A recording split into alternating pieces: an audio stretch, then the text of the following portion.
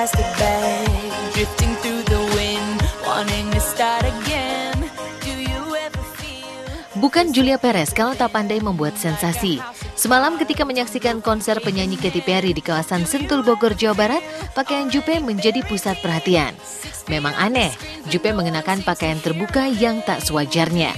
Dalam aksinya tersebut, Jupe tidak sendirian, melainkan ditemani komedian Aming yang mengenakan pakaian bercitra sama. Dengan bangganya, Jupe memamerkan busananya yang tergolong tak lazim usai menonton konser Katy Perry. Jupe tak mau disebut mencari sensasi dengan busananya yang tak lazim.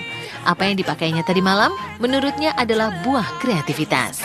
Namanya uh, dispenser bra, uh, idenya ide Aming, dicombine sama Jenny juga aku pakein semuanya. Jadi, tapi yang terpenting hari ini adalah di mana aku uh, seneng banget punya partner in crime di mana kadang aku kan suka punya ide-ide gila. Iya. Kayak ketemu si Aming, makanya aku janjian ayo Aming lo harus sama gue jadi gue gak gila sendirian.